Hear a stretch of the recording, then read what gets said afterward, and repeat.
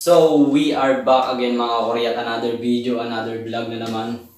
No have inspirational message. Kasi hindi lang po about sa inspirational message ang kaya kong ibahagi. Hindi lang po about sa spiritual na buhay ako makakatulong kundi sa pamagitan ng vlog ito. In physical life, physical, kaya ko rin makatulong. Yon mga Korea. Before I start this, yan. Yan. Nakikita niyo po ba to?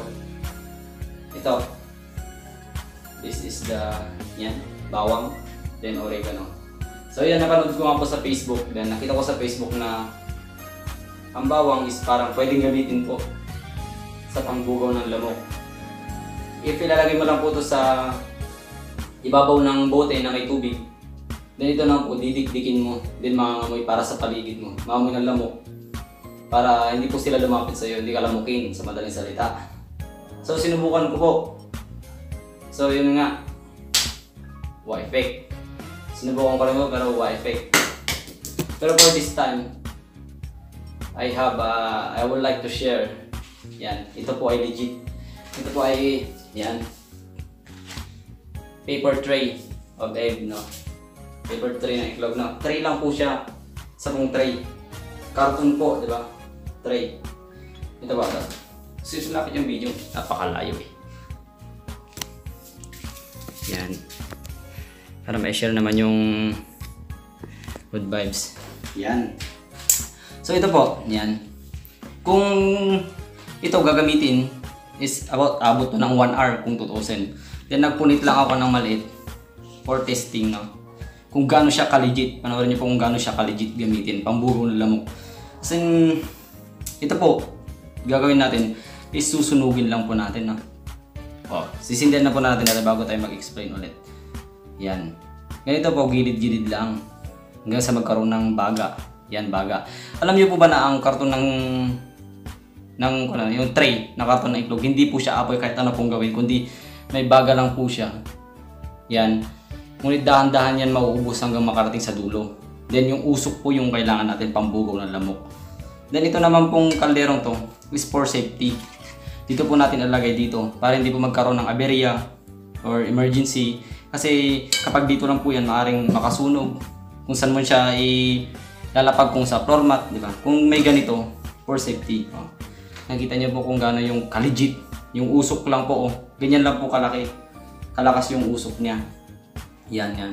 Then kung gusto mong palakihin pa yung usok siyempre ganito po. Sa gilid-gilid pa niya dagdagan mo pa po hanggang sa lumuwang yung baga niya then sa medyo lumakas yung usok. Pero mas mabilis maubos. Pero kung ganito lang po, napaka-legit, napakatagal maubos. Oh. Ganyan lang po siya. Oh. Lagay mo lang po sa tabi niyo kapag matutulog kayo. Then, pinagkaiba po, ito po. Pinagkaiba po is video. Come on.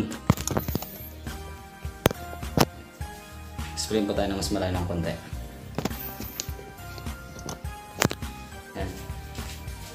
So nakita niyo po yung usok, ganyan lang po siya. Napaka-legit po. Napaka-legit po.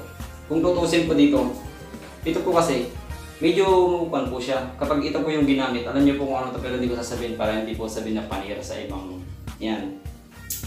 Ito po kasi kapag ito nalanghap mo, siyempre alam na po natin, lalo tumatapang yung lamok. Hindi lang yung lamok, pati ikaw na nakakamoy nagiging parang pasaway. Then interview ko to. Yung brand niya tatakipan natin. Alalalan niyo na po kung ano to. Yan. Yan. Yan. Medyo kan po siya.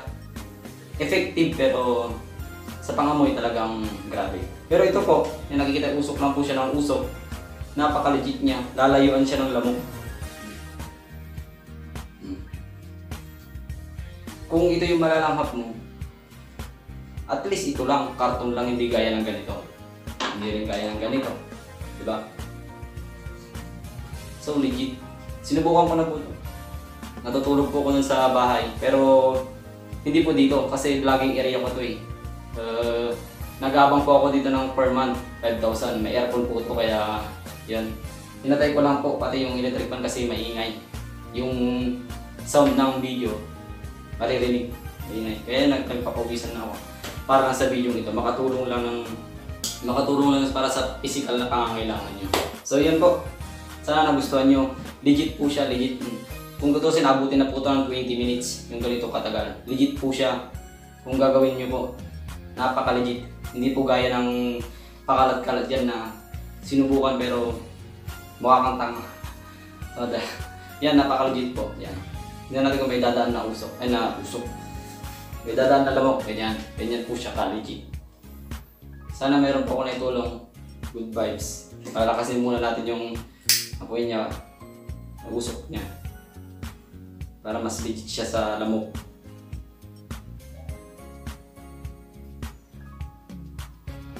Oh. Lumakas yung usok. Ganyan po ka-legit. So yun mga kakuryat, sana may tulong ako. Maraming salamat sa panonood.